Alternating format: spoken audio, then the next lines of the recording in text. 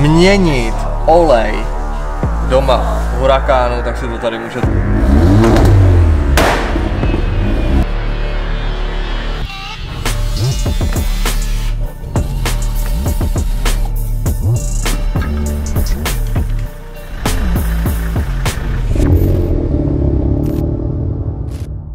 Čau párci, já vás vítám u nového videa.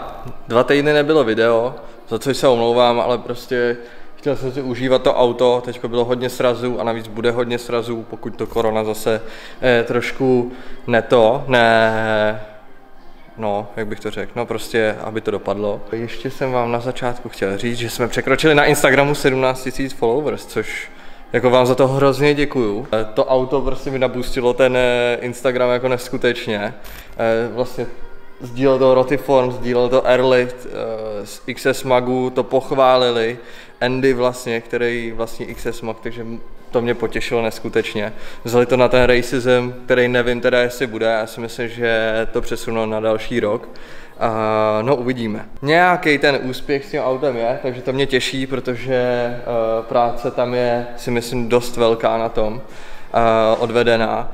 A uh, jak už jsem sliboval minule v tom videu, tak uh, budou úpravy ještě tady na tom, nějaký letos. Jinak zbytek si nechám na příští rok, aby mě to stále bavilo to auto, protože jakmile to dodělám, eh, což by teoreticky šlo, eh, tak by mě to přestalo bavit rychle a já bych pak musel schánět něco jiného, což eh, nechci zase úplně, ale uh, vrhneme se na to teda. Jinak ještě jsem vám chtěl říct, že na e-shopu jsou držáky, uh, kde to mám tady? Držáky na SPZ, na který jste se mě ptali, takže ty tam jsou, je možný to objednat. No a teďka už se postíme teda k úpravám na té šestce. Já to udělám takovým, jak to dělá Robin, takovým myšmaš vlogem, protože já bych do toho chtěl zakomponovat, teď, teďko Segra odjela pryč, uh, koupila si šestku Golfa v kombu, že jo, takže český sen, skoro, skoro český sen.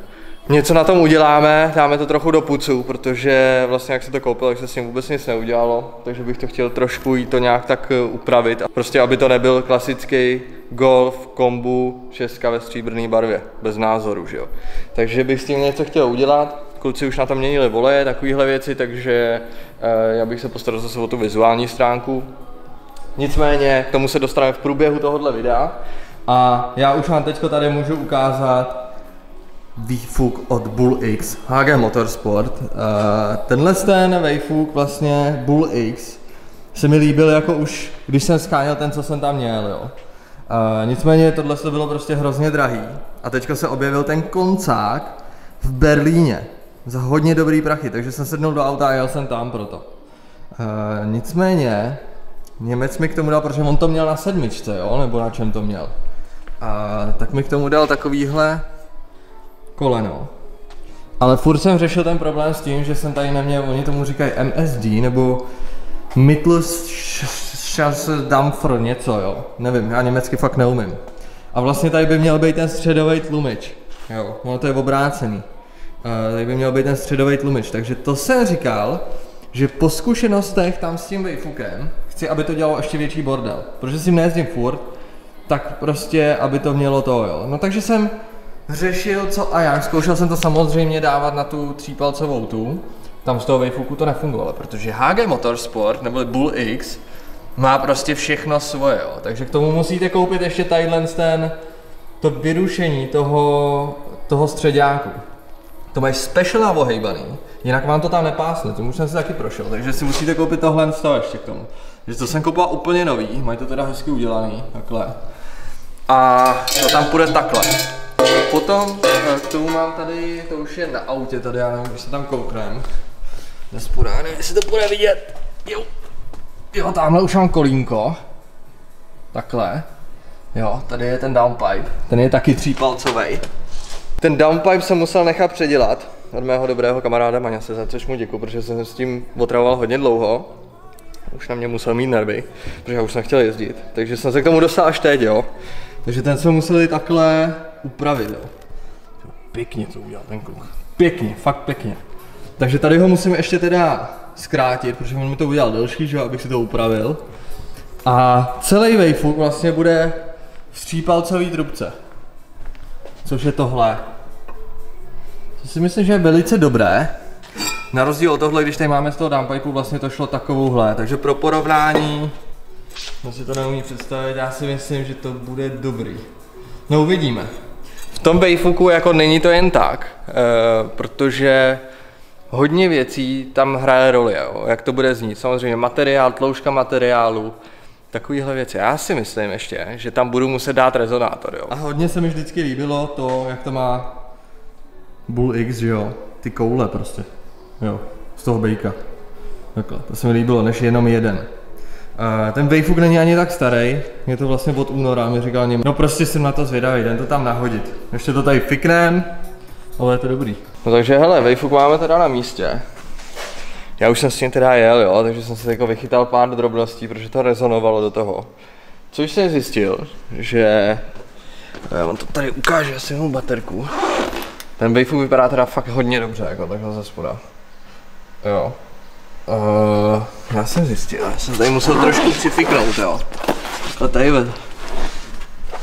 Takže tady v těch místech, tady kde vidět, jak je ten silem blok toho, tak tady byla ještě ta trubka, vedla sem. Takhle jo. A tady o tu trubku, když se to hodně zahřálo, tak nevím, jestli se to nějak roztáhlo nebo něco, je to dost pravděpodobný, tak mi to lehce rezonovalo tadyhle o tu trubku. Což jsou nejspíš brzdy, což není úplně nejlepší, že jo? Logicky, zase mi někdo volá. Uh, takže tady máme vyrušení toho toho středáku. Už to chytá barvu, pěkně ten vejfuk. A můžu vám říct, že jsou to rány jako kráva. Jo, ještě další věc, která, s kterou bojuju, co se mi nelíbí na tom vejfuku, jsou ty koncovky, ale to už jsem říkal. Já bych chtěl jako o dost větší, ty koncovky.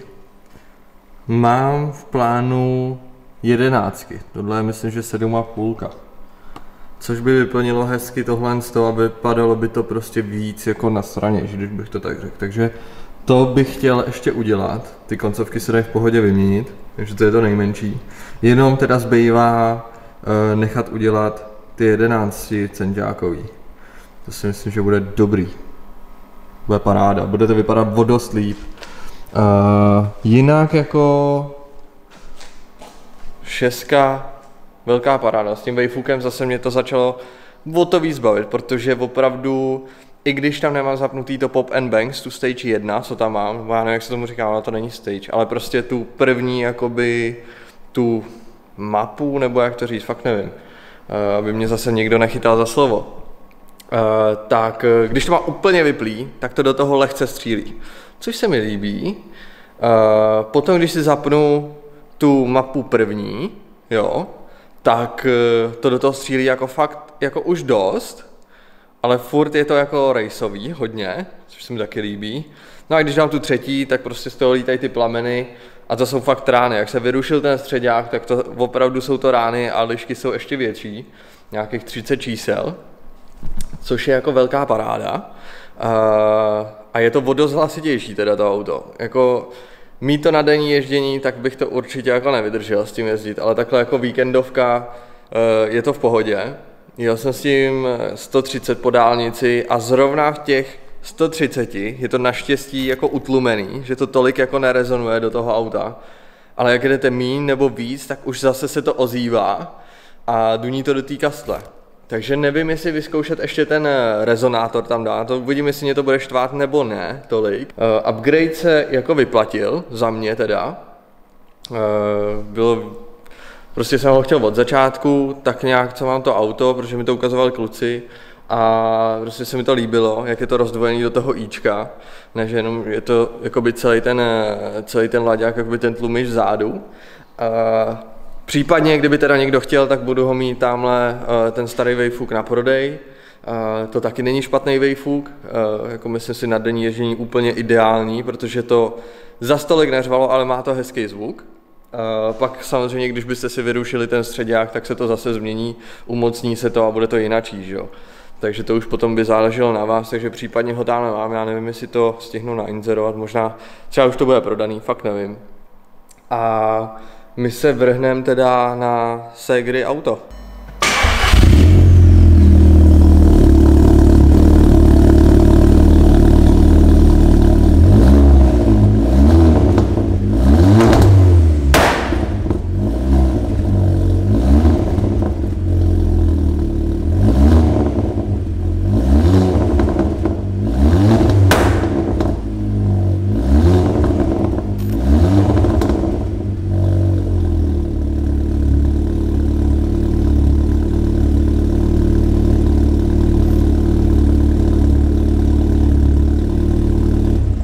No takže jak jsem říkal, máme tady Segry auto. Jde o gomby, jo, Česku. A tuním tady jako za starých let znáčky, protože tady ten byl takový jako zoxidovaný celý. Takže tady mám plastidip, tak to fouknu plastidipem černým. A tady eh, možná to udělám potom folií u kluku. To uvidím. Možná než to tady jakoby celý o to ještě uvidím, jo. Ale tadyhle to fouknu. Eh, kluci jí teda zatmaví okna, asi možná udělají střechu tmavou. Ještě tady nakódujeme nějaké věci přes OBD 11. Eh, na to jsem taky zvědavý. Ještě bych teda chtěl poprosit kluky, jestli nezatónují vlastně tadyhle ty, ty blikačky, jo, směrovky. A tadyhle to dole bych udělal lehce do tmava. A myslím si, že to bude vypadat dobře. Tady jsem eh, jí přidělal vlastně značku na ty na ty držáky, bez, ty, bez rámečkový, takže ty můžete objednávat případně na e-shopu, kdo by měl zájem, protože jste se mě na to furt ptali. Takže teď to je dostupný na e-shopu nově. Uh, no a pustíme se do toho teda, jdem to tady fouknout. No hele, takže mám tady plastidip, foliatek. Dáme nejdřív lehkou vrstvu, je teda lesklej, tak uvidíme, co to udělá. Ty vole. To plive jako, kamaráde. Prostě jako za starých let. Hele, já to naleju takhle celý. Yeah. To bude ještě fešák, ale. No jo. Mmm. Fakt hezký. Fakt hezký. No hele, tak jsme to foukli. Tady to teda přitáhneme folií, lesklou černou. Ale tohle to si myslím, že bude dobrý. Furt lepší, než to bylo. Korytý stříbrný, bez názoru, prostě jde ta černá, že jo. Tady to nechává trošku lepidlo, ta, fo ta folie, no ale nedá se nic dělat. To pak obědem, až to zaschne úplně.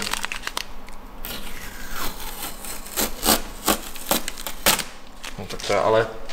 Hm, to je až moc profi tohle.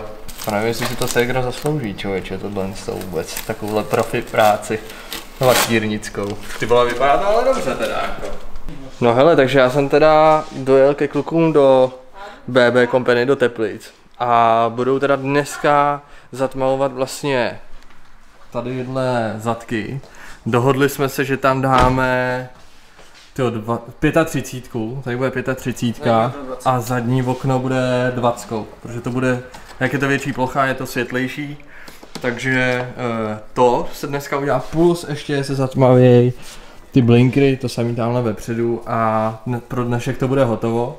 Příště uděláme s klukama střechu, protože tady se musí sundat hagusy, určitě i ta antenka, aby se to dostalo hezky pod to, takže to je na delší dobu toho kombíku, takže to si dáme příště a myslím si, že to bude vypadat jako dobře. Ještě jsem se teda ptal Segry, protože ono to úplně takový překvapení není nakonec, jak jsem si myslel. Protože Segra přijela dřív. Takže jsem se jí na to ptal, jestli to chce jako začernit, ten znak vepředu i. No samozřejmě řekla, že ne. Já jsem myslel, že se udělal i ty linky trošku jinačí. To řekla, že to nechce, takže budeme respektovat přání. A uh, jinak nevím, co jsme s tím provedli ještě no. Ještě tam teda nakladujeme nějaký věci přes to OBDčko, a e, myslím si, že to bude dobrý, protože tam furt pípají pásy. Jinak jsem vám chtěl ukázat krásný liťáky, jo, jaký to má. To jsem nevěřil, že tohle to opravdu dělá VVčko, no je to jako poklice, jo. To jsem normálně nevěřil, tady to bych čekal třeba u Opla. Ale určitě ne u VVčka, takže u VVčka tohle je opravdu možný fakt jako hrůza teda, tohle to jsem nečekal, ani jsem si toho já nevšim. Já jsem myslel, že to jsou opravdu liďáky. Yeah.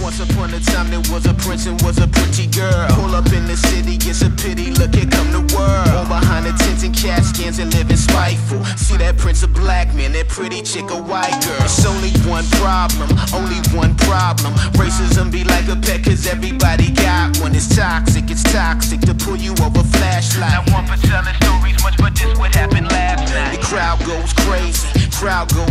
No ještě teda tady musíme dát nebo samotu Keleneverkes, neboli Coolnaverks. V matném provedení.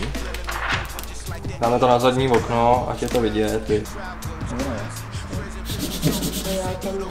Profi. Vyloženě profi. Volili jsme matnou, protože se mi líbí v poslední době to, když je to na lesku. Tady to teďka nepůjde moc vidět, protože tady je tma, ale jakoby kontrastně. Nebo jako jak bych to řekl, prostě ta matná takhle proti světlu, tady když půjdeš tady. Hele, teď to tam bude vidět. Jo, je to prostě dobrý, je to decentní, dobrý, nekřičí to, ale se mi líbí. Než kdyby to bylo třeba jako barevný, vyloženě jako třeba růžový nebo tak, tak to by nebylo úplně hezký, no. Takže them venom.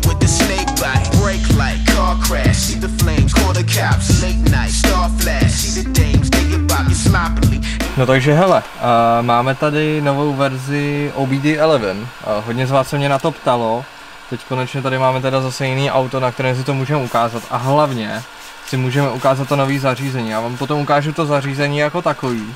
Změnilo trošičku design, vypadá to líp, není to taková koska. Ale hlavně, co bylo důležitý pro mě, že už to konečně jde s iOS jako napárovat. Uh, tady jsem říkal, že měnil se olej, takže si rovnou můžeme vyresetovat vlastně ten olej, si tady vybereme. Je to na kredity zase, jo. Takže to aktivujeme, mělo by se to vymazat. Úplně jednoduchý. Pak tady máme nějaký retrofits, uh, to třeba když si dáváte uh, ledkový osvětlení SPZ, tak to si můžete samozřejmě taky tady O to, si myslím, že je hodně, hodně užitečný. Ty samostatné aplikace, uh, to, co nám umožňuje vlastně auto, tak tady vidíme různé nastavení. Teďko to máme vyplý, takže tam nic měnit nepotřebujeme, ale je tady třeba takový needle sweep nebo různý uh, asistenti a tak. Já jsem chtěl hlavně teda vypnout ty pásy. To máme tady.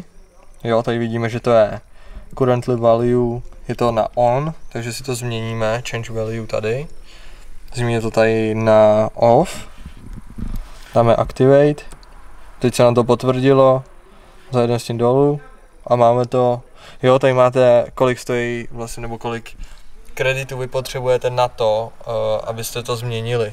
Máme tady dostupných 855 kreditů. Je to zase to stejný, uh, že si můžete kredity buď koupit, anebo si vy, vyjedete pět kreditů uh, vlastně jakoby za nějaký reklamy a tak. Není tady vyložený žádný těžký kódování, ale jde tady i to uh, ten long coding, jakoby to dlouhý kódování, kde musíte trošku vědět o tom a nejenom, že si to takhle naklikáte. Tady to pro mě je fajn, že to není nic těžkého. Jo, tady, tadyhle máme needle sweep, což je to, že vám to projede vlastně ty budíky, ty ručičky, když otočíte klíčkem. Uh, jo, ale protože tohle je 2009, první model, tak tady si to můžeme ukázat, jo. Uh, nebo 2010, to je, teď si nejsem jistý. Ale uh, u některých modelů, třeba i u Maňase se to stalo u šestky, u toho GTIčka, že prostě to nešlo. Tady vidíte, že to není podporováno. Takže ta nebo jakoby ty budíky to prostě ještě nepodporují. Muselo by se na to jít přes ten long coding, takže byste museli kódovat jako vyloženě přes ty, uh, no, to, co jako neumím. Tady si můžete stlumit i vlastně uh, to denní svícení, nebo jako by ta parkovačka tady. Tak si tady můžete nastavit hodnotu, nakolik to bude jako svítit, což mi přijde taky jako docela cool. No, takže teď úplně poprvé jsme to auto jako nechali naskenovat. Tam na to jsem teda nepřišel, to si ještě budu s tím muset dát práci. Ale teďko jede vlastně sken toho auta, takže si můžeme zobrazit nějaký chyby. Funguje to jako diagnostika, to jsem vlastně neřekl. Asi to jsem říkal v tom posledním videu, co jsem s tím dělal. Hej, bordel, to je hrozný. A e, teďka vidíme, že tady máme čtyři chyby, vidíme tady napětí, který není úplně nejlepší, má to 11,9 V, ale v pohodě. E, máme tady teda pět problémů, který to našlo. Tady by měly být někde chyby. Tady chyby. Osvětlení prostoru nohou, takže teď jsme přišli na to, že to posvětlení nohou má, ale že to někde zkratuje. Takže na to se budeme muset kouknout. Uh, můžeme si to vyčistit tady. Uvidíme, jestli se to objeví znovu nebo ne. Já si myslím, že jo, protože to nesvítí, že jo. A nejsem jako profi diagnostikář, jo, vůbec. Je všechno, máte tady vlastně vinko a takovéhle věci. 2010 to je teda. Máte tady kód motoru, kolik to má na je to, takovéhle věci. Máte tady i histori- historii těch chyb, kde co byly, takže si to můžete vyjet. Na rozšířenějšího hurakána. Co si tam můžeme dát? Ty vole, lap timer, hele. Tak to je krásný. Skandinávský uh, denní svícení, že vám to svítí vzadu. Euro Parking Lights, no nevím. Retrofits, hele, ježiš, teď jsem to tady zmáčknul. No hele, nic. Workshop, co se hodí, kdo si bude měnit olej doma v hurakánu, tak si to tady můžete jako vyresetovat, což mi přijde teda hodně cool. To samý tady inspekci, jo, servisní. Velká paráda. Takže to se určitě vyplatí. no takže OBDčko 11 vám zlehka ukázali. Myslím si, že na toho hurakána teda to stojí za to. E, si nakladovat jako, nebo vymazat servisní interval kdybyste si měnili ten olej.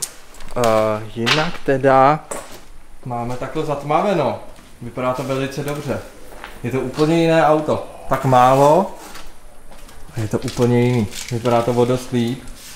To skoro zítra... jak ten hurakán, no. Je to skoro jak ten hurakán, přesně tak. Uh, já teda zítra dodělám toho golfa ještě, než jí to dám. No a kdo by si chtěl vypimpit auto teda, takhle stejně. Rodinné gomby, samozřejmě můžete přijet ke klukům. Oni vám velice rádi udělají takovouhle radost. že jo? Určitě. Takže jedno, jestli máte oktávku v kombu, nebo golfa v kombu, nebo hurakána, je to úplně jedno. Kluci si s tím poradějí. no hele, takže já bych to asi pro dnešek ukončil. Já to zítra už dodělám bez kamery. Tu si sebou brát nebudu. Příště doděláme ještě střechu, jak jsem říkal, tady je to na delší uh, dobu, protože se musí sundat hagosy, ta, uh, ta anténa. Takže to klukům připravím, potom se potáhne ta střecha a bude to dobrý. Jo, ještě jsme chtěli ty zrcátka, na to jsem zapomněl. Takže ještě doděláme ty zrcátka. A ten předek teda nic. A já bych se s váma teda roz, já bych se s váma teda rozloučil, těším se na vás příště a bylo to zase trošičku něco jiného. Příště se můžete těšit na jedno překvápko v dalším videu. Takže mějte se hezky, ahoj.